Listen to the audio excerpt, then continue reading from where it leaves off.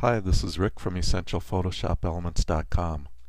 In this video I want to show you how easy it is to straighten a photo in Photoshop Elements. They have a tool made just for that. It's called the Straighten tool. So let's choose the Straighten tool from the toolbox. It's the tool that looks like a crooked and straight photo overlapping each other. And your cursor will turn into crosshairs all you have to do is find something in your photo that should be horizontally level. It's really easy in this photo because we have the horizon line, but it could be anything like a windowsill or the edge of a table. All you have to do is click and drag along the line that should be straight and it makes that perfectly horizontal.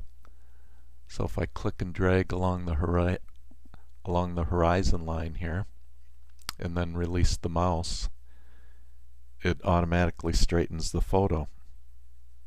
Now I want to show you some options you have with the straighten tool. So let's look up in the options bar and you see there's an option field for your canvas. I have it set to crop to remove background. When you rotate a rectangular image inside a rectangular window, it's no longer going to be a perfect fit. Let me just quickly show you what the other two options do. When I set it crop to original size, okay, I'm going to undo my straightening here. And I have it set to crop to original size. And now when I click and drag, you can see some of the edges get cropped off and you get the white canvas showing in some areas. This is equivalent to just turning the photo inside a stationary window. The window stayed exactly the same size. So I'm going to undo that now.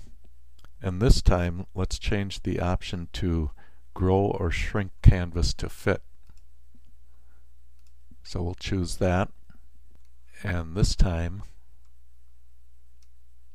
when I click and drag, you can see I still have all my original edges visible, but I also have this white canvas area showing.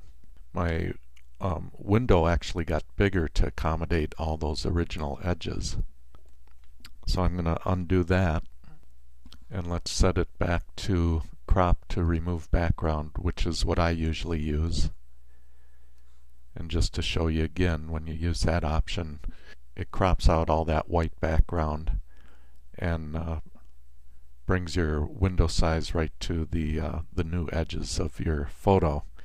So just be aware that you might lose some of the edges of your photo when you use the straighten tool.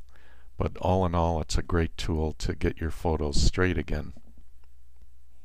I hope you found this helpful. To see lots more information on Photoshop Elements, visit my website at essentialphotoshopelements.com. Until next time, take care.